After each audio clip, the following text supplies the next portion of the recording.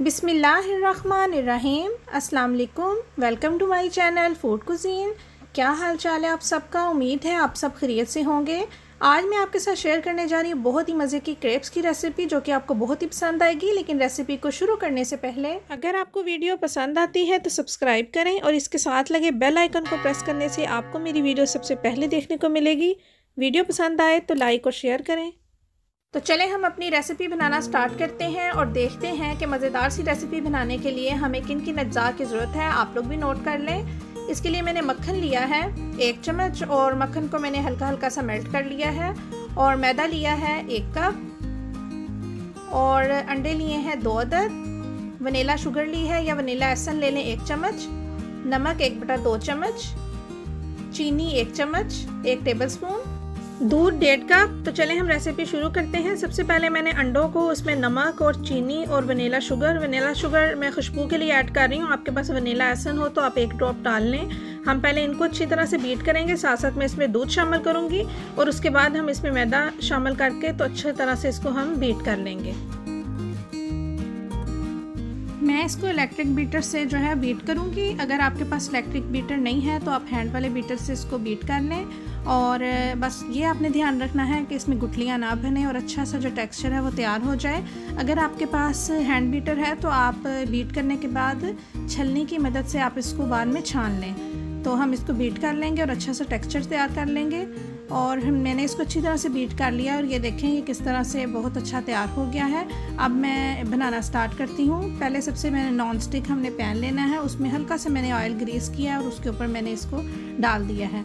आपने बिल्कुल break break सी बनानी है ये।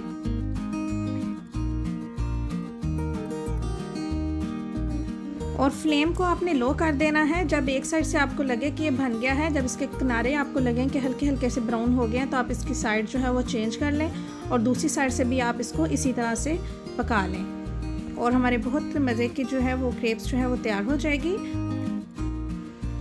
जब ये दोनों तरफ़ से पक जाए तो हम इसको जो है वो डिश आउट कर लेंगे और इसी तरह से ही मैं सारे क्रेप्स जो है वो बना लूँगी। और इसके बाद हम इसकी जो है वो डेकोरेशन करेंगे। पहले मैं क्रेप्स बना लूँ थोड़े से और उसके बाद जो है आपको जिस तरह से पसंद हो आप इसकी जो है वो डेकोरेशन कर सकते हैं। जो भी चीज़ आपने इसके अंदर रखनी हो, आपको पसंद हो आप वो यूज़ कर सकते हैं।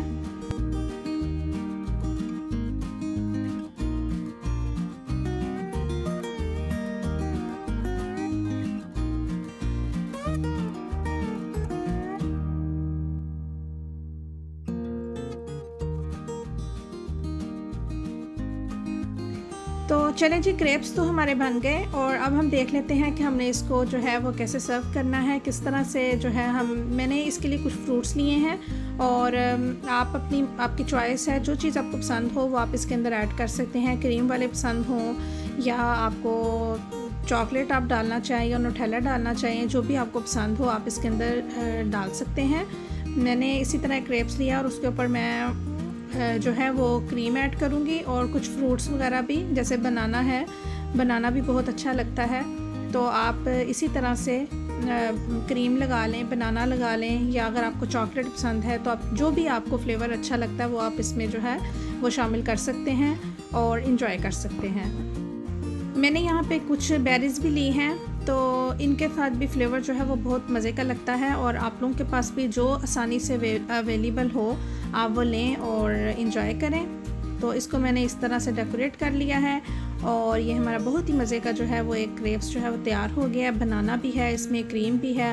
अब नेक्स्ट हम बना लेते हैं। उसको मैंने थोड़ा सा जो है उसमें मैंने क्रीम ऐड नहीं की। आ, उसमें मैं जो है वो नुठैला सिंपल लूँगी। आप नुठैला ले लें या चॉकलेट ले लें जो भी आपका दिल करे। तो इस तरह से हम इसको बना लेते हैं।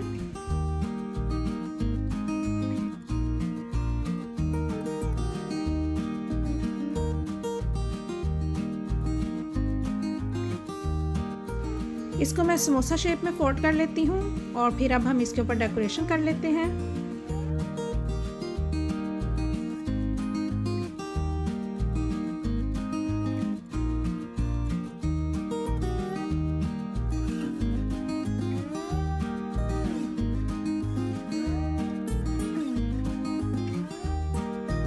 इस तरीके से आप क्रेप्स बनाएँगे तो जो बच्चे फ्रूट्स नहीं खाते, वो इस बहाने फ्रूट्स भी खा लेंगे और वैसे भी जो है वो क्रेप्स की खूबसूरती में भी इजाफा हो जाएगा।